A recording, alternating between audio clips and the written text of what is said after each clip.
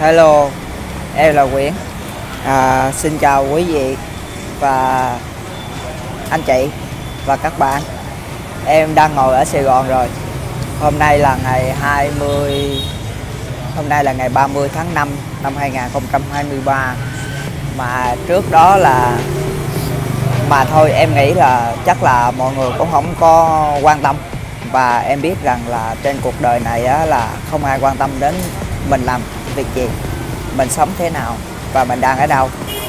Trừ những uh, người bạn thật sự quan tâm đến mình thì họ sẽ theo dõi cái cuộc sống của mình dõi theo từng bước đi của mình kể cả những cái cái lúc mà mình không biết người ta vẫn âm thầm dõi theo. Và đó là một trong những cái điều mà em cũng đang áp dụng cũng đang làm dõi theo những cái điều mà em cần ở những người anh, những người chị, cũng như là những người bạn đã thành công trên cái nền tảng, cũng như là đã thành công trên những cái mục tiêu mà em đang theo đuổi. Đấy, em âm thầm.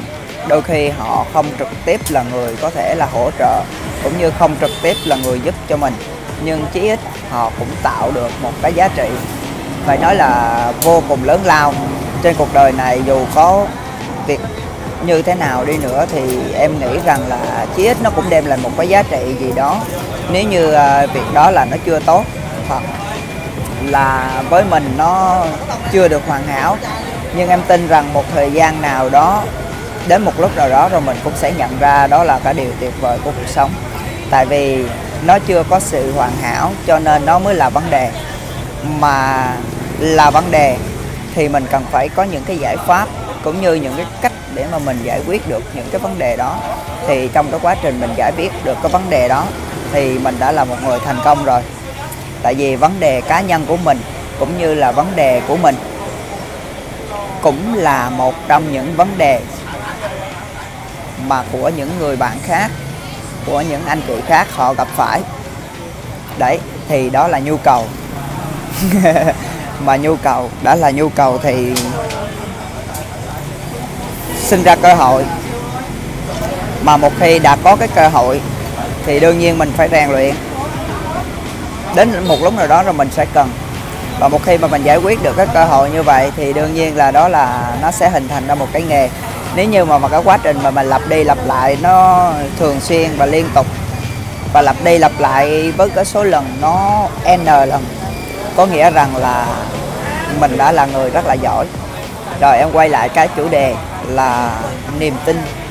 Nếu như mình có một niềm tin nghĩa là mình đã đi được nửa đường thì các anh chị của mình cũng biết rằng là em từ uh, Sài Gòn. Em trong cái tháng vừa rồi tháng 5 là em đi xuyên Việt qua các tỉnh thành để uh, đến Hà Nội thật sự em cũng không nghĩ em không dám nghĩ rằng em cũng sẽ làm được cái điều như vậy. Nhưng mà trên thực tế thì em đã đến được Hà Nội và em đã trải qua bao nhiêu lại cái uh, cảm xúc. Và cái cảm xúc hạnh phúc nhất nó luôn phải nói là hiện hiện diện trên cái suy nghĩ của em. Cho nên là em bỏ qua hết tất cả những cái gì mà mình nghĩ là nó chưa tốt. Để chinh phục được cái mục tiêu và trong cái tháng năm này cũng như là trong cái lịch sử của cái cuộc đời của mình em chưa hề nghĩ rằng là em đã đến được Hà Nội. Mặc dù là em đang ngồi ở Sài Gòn thì à, có rất là nhiều người bạn cũng như nhiều người anh chị kể cả gia đình em là cũng là có những cái lời khuyên cũng như là à, tư vấn cho mình rằng là nên làm việc này không nên làm việc kia. Đại khái là như vậy. Nhưng mà trên cuộc đời này thì thật sự ra là không ai nói trước được cái điều gì. Mình chỉ nghĩ rằng là để sống thì nó rất là khó. Rất là khó. Cho nên nếu như mà mình không thỏa mãn được cái nhu cầu cũng như là thỏa mãn được sự đam mê thì chắc chắn mình sống nó vô nghĩa. Mình sống nó vô nghĩa. Miễn sao mình thỏa mãn được cái đam mê theo một cái chiều hướng tốt. Miễn sao là mình biết là ngày hôm nay mình tốt hơn ngày hôm qua một tí là mình đã thành công rất là nhiều. Đấy, thì sau khi mà em trải qua được rất là nhiều cái tỉnh thành như vậy, thật sự ra là một cái cảm xúc phải nói là nếu như các anh chị mình có thể là đi xa như vậy, thì các anh chị mình thấy rằng là cuộc sống nó thay đổi phải nói là nó thay đổi từng giờ không phải nói là từng giây từng phút. Nó thay đổi rất là nhiều và mình không có thể nào mà có rất là có nhiều thời gian để mà mình có thể là dừng lại một cái nơi nào đó quá lâu. Cho nên em vẫn ưu tiên đến cái mục tiêu lớn đó là Hà Nội. Thì uh, trải qua một cái quá trình em nghĩ chắc nếu anh em phượt nào uh, họ từng phượt những cái chuyến xa thì em nghĩ rằng là họ xứng đáng nhận được những cái gì mà họ đã trải qua. Tóm lại là phải rèn luyện để xứng đáng. Thì uh, đến giờ phút này uh, có nhiều anh em mà em đang hỗ trợ mặc dù là em cũng không quen biết nhưng mà em cũng đang hỗ trợ những cái anh em chạy rap ở một vài nơi à, với một người không biết cái gì mà em hỗ trợ có thể là làm được sáu bảy trăm ngàn một ngày mà vẫn chưa hài lòng. Và muốn phải có một triệu một ngày thì em nói là cũng phải cần có sự rèn luyện. Cái việc gì cũng vậy cũng phải có cái sự rèn luyện để cho mình cảm thấy mình xứng đáng. Và qua những cái chuyến hành trình qua những cái à, lộ trình mà em di chuyển như vậy thì em thấy là cuộc đời rất là nhiều màu và em đi rất là nhiều cái tỉnh thành. Từ Phan Thiết cũng có rap Nha Trang cũng có rap Quy Nhơn cũng có rap Phú Yên cũng có rap Quảng Ngãi cũng có rap Đà Nẵng cũng có rap Huế cũng có rap Quảng Bình cũng có rap và Nghệ An thì khi em đi ra thì trời mưa, cho nên là em không nán lại quá lâu. Nhưng với con người ở Nghệ An thì rất là tuyệt vời. Một người chị ở một cái cửa tiệm bán bún đậu à, bán uh, bún chả Hà Nội. Mà thấy em đi dầm mưa như vậy chị cũng hoan hỷ chào đón là mình nên ở lại. Nghỉ ngơi sau 2-3 ngày nữa hết mưa rồi hãy đi. Tại vì à, theo như các anh chị mình biết rằng là ngày 11 tháng 5 vừa rồi là từ ngày 11 tháng 5 đến ngày 15 tháng 5 là ở miền Trung kéo ra miền Bắc là có không khí lạnh và lượng mưa rất là lớn. Và em cũng chọn cái thời điểm đó mà em xuất phát từ Quảng Ngãi đi Hà Nội. Thì khi em qua đến Nghệ An thì thật sự ra cái đó là điều em rất là cần và em cũng cảm ơn. Em chân thành cảm ơn cái người chị đó và em cũng không có nán lại, tại vì mình cần phải chinh phục cái mục tiêu là Hà Nội. Cho nên là em tạm thời để lại và gửi lời cảm ơn chân thành. Sau đó là em tiếp tục cái lộ trình của mình cho đến Thanh Hóa. Thì à, tối lại là em về Thanh Hóa thì cũng mưa mưa rất là tầm tã và rất là lạnh. Và khi đó là em cũng không biết một cái gì cả và em cũng không biết là mình nên ngủ ở đâu thì em lên trên mạng em bóc Agoda. Và em nghĩ lại sau một đêm thì em thấy mọi thứ nó cũng rất là tuyệt vời và em cũng không có nghĩ là mình sẽ lưu lại hết được những cái kỷ niệm như vậy. Thì à, sáng ngày hôm sau là ở Thanh Hóa thì trời đã hửng nắng rồi. Thì em tiếp tục là cái lộ trình đi Hà Nội. Thật sự đối với em là một cái cảm xúc mà phải nói là tuyệt vời, rất là tuyệt vời luôn. Mà đến giờ phút này mà các anh em mình còn hỏi là làm sao để chạy một triệu một ngày thì em xin thua. Tại vì không có đủ thời gian mà để chia sẻ với các anh em mình như vậy em chỉ ờ, gói gọn lại trong ba cái ờ, điều.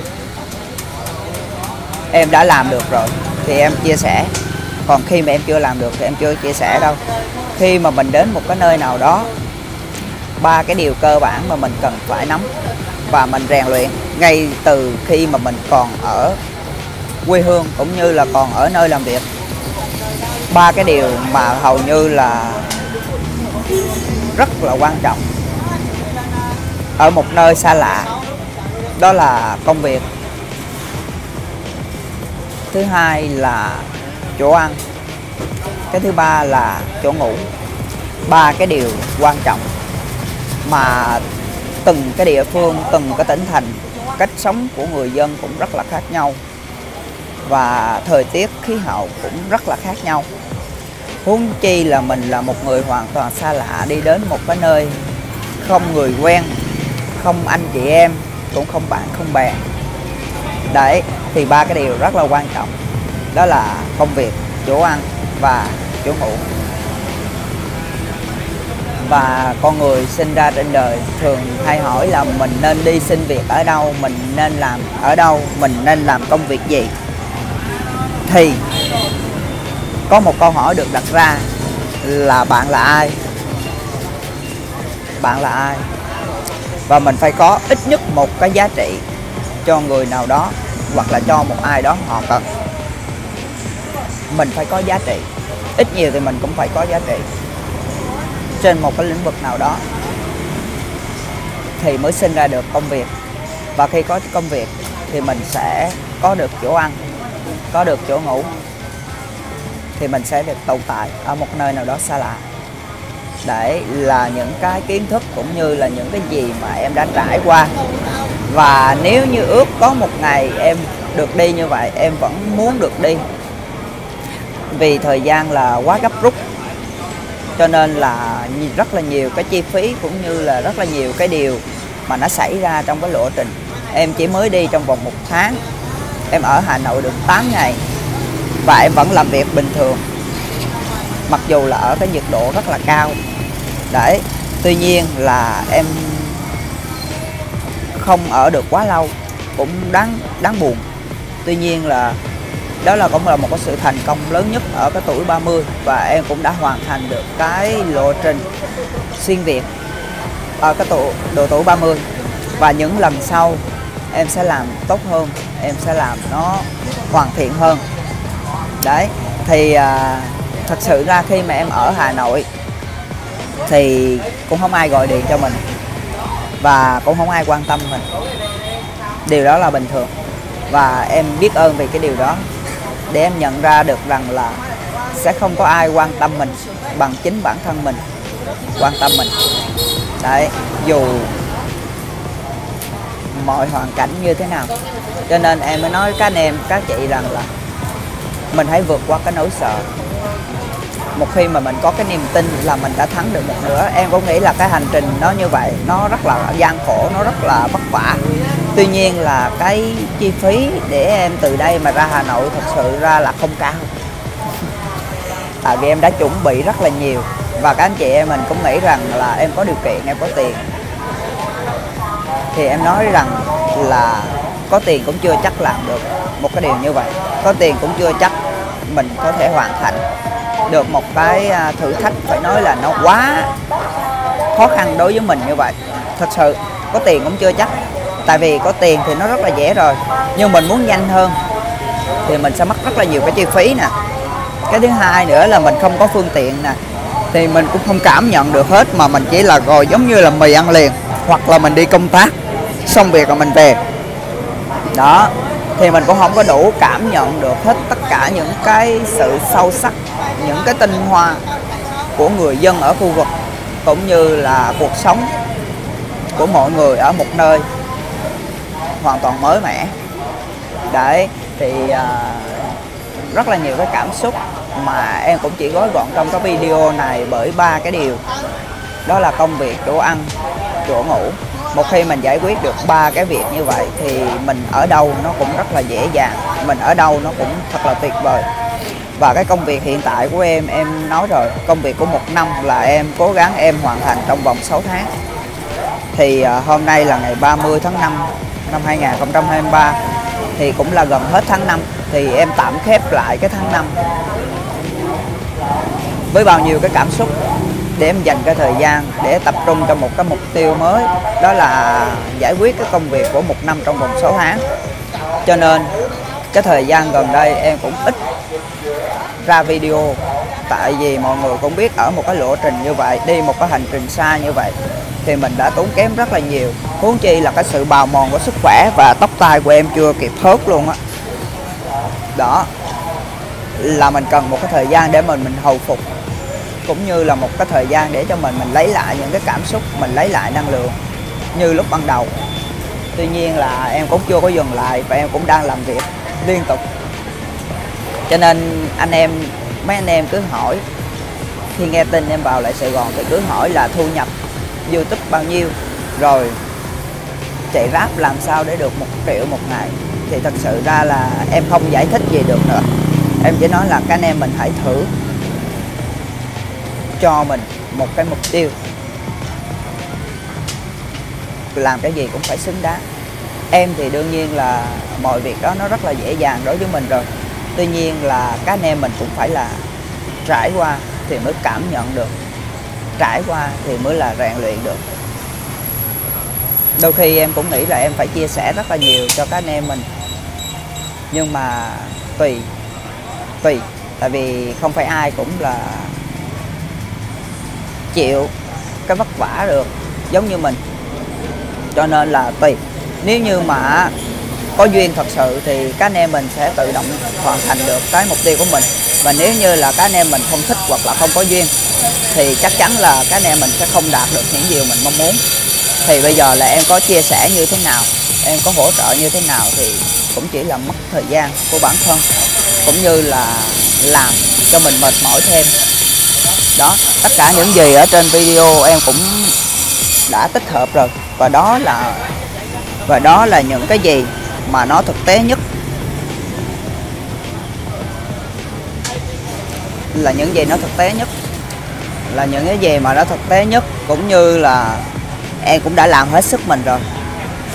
À, trong quá trình em đi như vậy là em cũng phải là cảm nhận và tận hưởng. Không dễ dàng gì mình có thể là có mặt ở những cái tỉnh thành như vậy lần đầu tiên trong cuộc đời. Thì em cũng cố gắng tận hưởng cũng như là cảm nhận bằng mắt. Bên cạnh đó em cũng phải là duy trì cái công việc và cái chỗ ngủ nghỉ hàng ngày.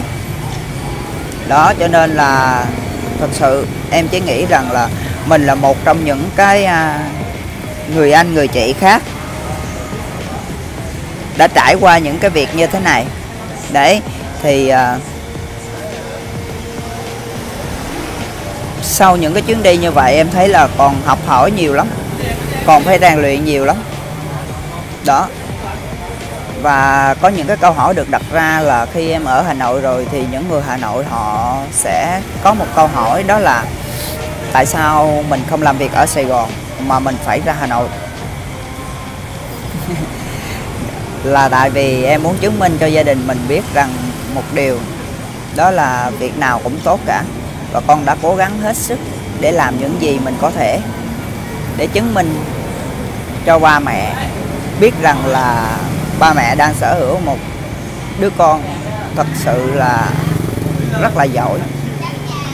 Đó, thì không dễ dàng gì mình có một công việc ở một nơi xa lạ và vẫn ổn định đấy, thậm chí là em cũng đã về Quảng Ngãi làm việc bình thường, nhưng mà người ta vẫn còn kỳ thị cái nghề rap. Nhưng mà nhờ cái màu áo rap này, nó đã cứu em rất là nhiều thứ. Cho nên em trân trọng. Biết ơn về cái dịch vụ rap như thế này, mặc dù em là người tài xế, tại vì ở cái tuổi trẻ như thế này, em cho phép mình được trải nghiệm những cái điều mới mẻ tại vì càng về lớn mình còn không có thời gian để mà mình trải nghiệm nữa đâu. Mình trải nghiệm càng nhiều thì mình sẽ thấy là cuộc sống này nó nhiệm màu, nó còn nhiều thứ mà mình cần phải rèn luyện và học hỏi rất là nhiều. Và từng địa phương nó cũng sẽ có những cái sự khác biệt rất là lớn. Thì có gì mà mình à, đang ở một cái nơi mà nó hoàn toàn bình yên, nó hoàn toàn là à, dễ dàng như thế này mà mình còn than vãn, mình còn than khó, thì cái thời gian mà mình than vãn như vậy thời gian mà mình hay là khó chịu như vậy thì mình hãy cố gắng tích lũy để có những cái chuyến đi như vậy. Để chi? Để mình nhận ra được rằng là cuộc sống này nó đang thay đổi rất là lớn và có những cái nơi mà mình chưa từng khám phá ra. Để thì mình đi để mình có những cái động lực trong cuộc sống và mình sống một cách nó có ý nghĩa hơn. Và em cũng quay đi quay lại là vấn đề của mình cũng là vấn đề của nhiều anh chị em khác. Đó. Cho nên khi mình giải quyết được cái vấn đề của mình nghĩa rằng mình có khả năng để giúp được nhiều anh chị khác thì là mình sẽ có tiền. Tiền là một cái thước đo giá trị. Đấy thì trước mắt là mình phải có một cái giá trị trong một cái lĩnh vực nào đó. Đấy thì à, nội dung của video đến đây cũng là tạm dừng. Em cũng gói gọn một tí xíu thời gian để em chia sẻ cho các anh chị em mình như vậy cho nên là những cái video trước mà các anh em mình cứ là hỏi là thu nhập như thế nào, rồi ờ, ABC đủ điều. Nhưng mà em nói rằng là mình phải tự đi trả lời những cái câu hỏi mà mình đặt ra. Em cũng chỉ là một người dẫn đường, cũng như là một người góp ý, cũng như là một người từng trải. Và em chia sẻ những cái gì mà em đã trải qua để chí ít cũng giúp được cho một anh em nào đó đấy, tại vì em lấy cái youtube này làm một cái nền tảng giải tỏa cảm xúc cũng như là một cái nền tảng để em có thể là phấn đấu, cũng như là buồn chán thì em cũng có thể có những người bạn, có những người anh, người chị để mà chia sẻ. Thì đó là một cái cảm xúc rất là tuyệt vời, rất là vui vẻ mà không dễ gì ai cũng có thể có được. Thì bây giờ em ngồi ở Sài Gòn, thực sự ra nếu mà cho em suy nghĩ, em không dám tin rằng là mình đã hoàn thành được cái chuyến đi Hà Nội một cách xuất sắc như vậy tuy nhiên, cũng ít ai quan tâm và cũng không ai quan tâm làm gì người ta chỉ hỏi rằng là mình ra đó để làm gì. Thì em ra, em nói em ra đó em đi làm. Tại vì em là tài xế rap mà. Nếu như là mọi người muốn đi đến một cái tỉnh thành nào đó thì phải có cái sự phân phối của công ty. Và chi phí là sẽ được công ty họ lo. Tuy nhiên thì mọi người cứ nghĩ rằng, mọi người hãy nghĩ lại. Và tại sao mà công ty không chi phí như vậy mà mình vẫn ra mình làm việc? Thì đó là một cái sự thành công của công ty rồi đó. Đó, mình không nên giới hạn mình vào một cái khuôn khổ nào đó. Tại vì ở ngoài kia có rất là nhiều cái công việc. Nếu như mình không làm được việc này thì mình làm được việc khác. Mà dù mình có làm việc gì đi nữa thì mình hãy yêu công việc đó và mình có sự đam mê đó thì thì mình muốn cái gì cũng được hết á. Thì cái gì nó cũng phải trải qua cái quá trình rèn luyện để mình biết rằng là cái nào tốt cái nào nó chưa có tốt để mà mình cải thiện. Đó thì em chị cũng chỉ nói được bấy nhiêu. Còn à, sẽ gặp lại các anh em mình vào những cái video sau. Tuy là cái video nó đơn giản nhưng mà nó cũng chứa đựng rất là nhiều cái cảm xúc của một người tài xế. Và em hy vọng rằng là các anh em mình cũng như em cũng cố gắng phấn đấu mình làm nghề gì không quan trọng, mình làm việc gì không quan trọng. Cái quan trọng là mình tìm được cái niềm vui trong cái công việc đó. Thì là mình thấy là cuộc đời nó vui vẻ rồi. Để sao mà sống cho hết được một ngày 24 giờ thì thật sự rất là khó. Tuy nhiên, khi mà mình có nhiệm vụ, mình có công việc, mình có kế hoạch thì à, 24 giờ trên một ngày thật sự là không đủ. Đó rồi, thôi thì à, tới đây video cũng dài. Em cũng xin chào tạm biệt anh chị em. Chào tạm biệt mọi người. Hẹn gặp mọi người qua những cái video sau. Bây giờ là em cũng tranh thủ làm ly cà phê. Sau đó là em cũng phải đi làm việc. Đó, bye bye.